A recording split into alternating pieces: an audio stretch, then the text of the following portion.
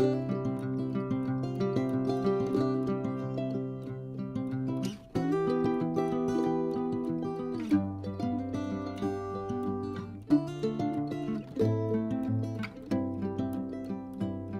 morning and welcome. Today we are going to make a delicious milk bread with nuts and raisins in it. So, nuts I have chosen are almonds and walnuts.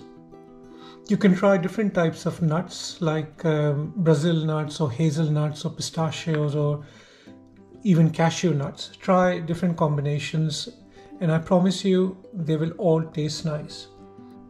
So first thing I'm going to do, I have got these peeled clean almonds, which I'm going to put through my spice blender and I'm going to blend them until they are smaller pieces. They're not completely powdered. So there will be a texture in the almond. So when we are eating our bread, we can have this almondy texture taste in the background.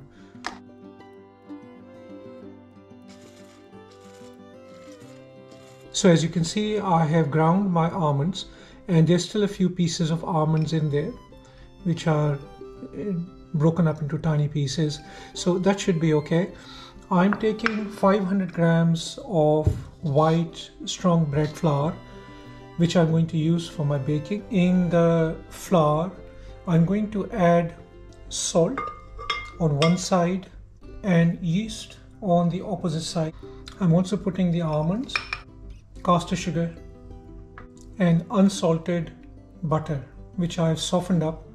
I'm using a mixer today to do the mixing and the kneading. So this is going to run for about 8 to 10 minutes on slow speed to start off with and medium speed. And I'm adding some warm milk which is about 300 milliliter I have in there. I might need a bit more, might need a bit less depending on the consistency of the dough and I'm looking for a soft but not soggy dough in the end which is smooth and silky.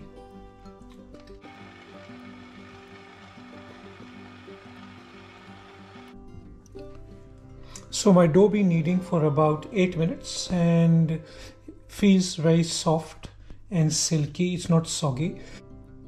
So I'm going to put some walnuts in it which I have literally broken down with my hand into smaller pieces. I don't want to grind them into a mush.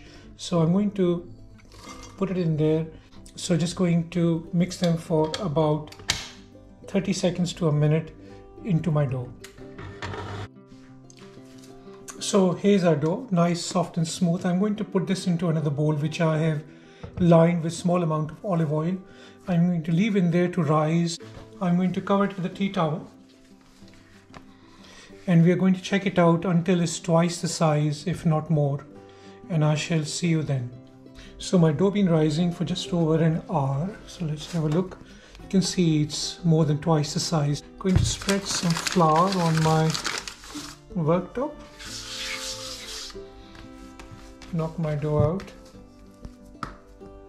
and I'm going to keep folding it until all the air been knocked out.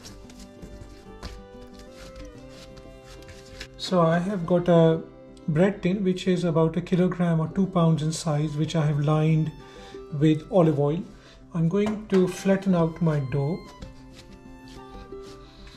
fold it in on each side, same on the top and bottom. Turn it around so the joins are at the bottom. I'm going to put this into my bread tin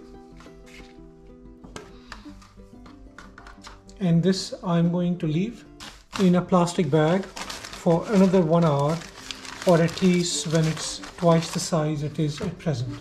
So I shall see you then. Make sure the top of the bag is not touching the dough otherwise it will stop it from rising properly.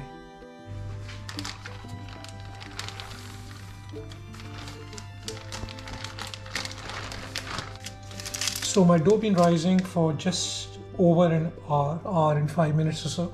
Just going to glaze this with some egg.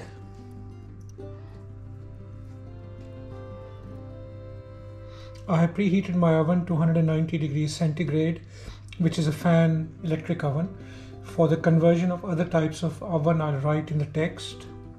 On top of this, I'm going to sprinkle some sesame seed, generous amount.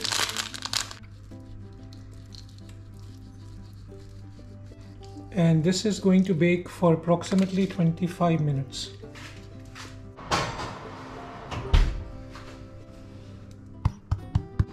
So here are, our bread out of the oven. Looks pretty good. And taste of the pudding is in eating it so I let it cool down for maybe half an hour. Then we'll cut it and have a taste. See what it tastes like. Okay let's cut the bread and have a taste. Let's check the consistency first. Looks nice and fluffy extremely light. Looks nice and airy in there okay let's try the taste.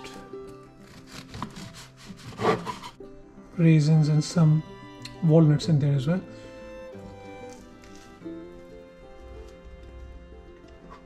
I love the lightness of the milk loaf.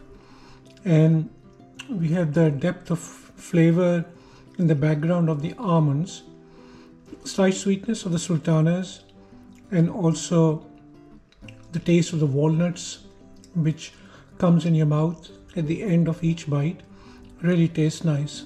You should try this bread, really really nice. I hope you like it and until next time I see you very soon. Thanks for watching.